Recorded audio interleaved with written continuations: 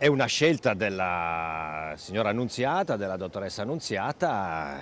bisogna chiedere a lei quale, quali sono le ragioni, nessuno ha conduzioni a vita di trasmissioni, nessuno ha diritto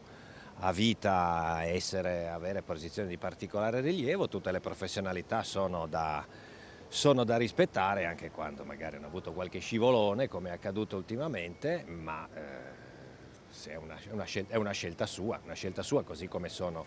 scelte del governo a mio avviso molto positive,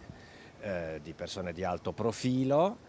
che daranno alla RAI un pluralismo vero, che non vuol dire sostituire una parte con un'altra, ma vuol dire davvero avere rappresentate nel servizio pubblico che è pagato, dalle,